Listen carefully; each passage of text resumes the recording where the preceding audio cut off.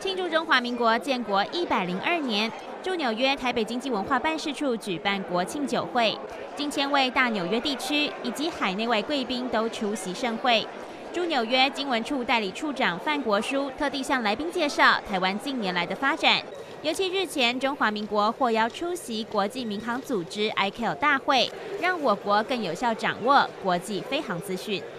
To celebrate 102nd National Day of the Republic of China, Taiwan. We are so glad you could be with us this evening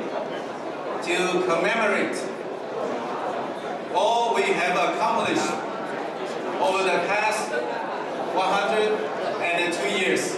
除了十多位友邦代表出席酒会，纽约中华公所主席吴国基代表侨界献上祝福，纽约台裔主记长刘纯义也到场致辞。